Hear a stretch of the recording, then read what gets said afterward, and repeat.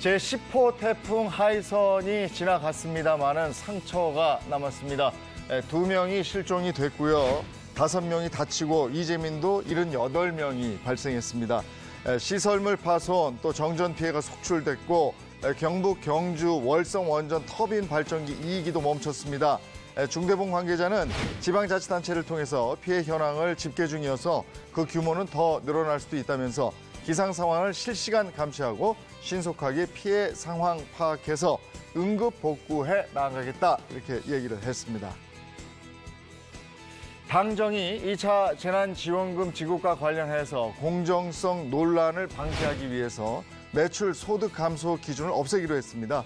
코로나19의 피해가 명확한 업종에 일괄 지원해서 선별 지급에 따른 잡음을 최소화하고 최대한 신속히 집행하겠다는 구상인데요.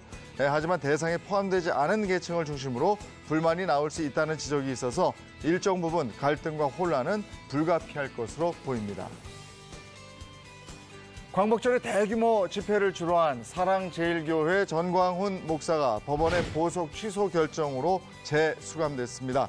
재판부는 전 목사가 불법 집회에 참여하는 등 보석 조건을 위반했다고 판단하면서 어제 오후에 자택에 머물던 전 목사의 신병을 확보한 후 서울구치소로 이송시켰습니다.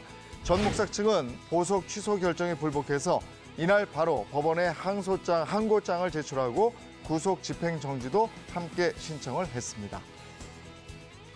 네, 이어서 오늘 날씨 전해드리겠습니다. 어제는 제10호 태풍 하이선의 영향으로 전국 대부분 지역에 참 많은 양의 비가 내렸는데요. 오늘도 전국의 하늘 표정 오전까지는 대체로 흐리겠고요. 또 비가 오는 곳 있겠습니다. 이 비는 낮에 대부분 그치겠지만 호남 지방은 밤부터 다시 비가 오는 곳 있겠는데요.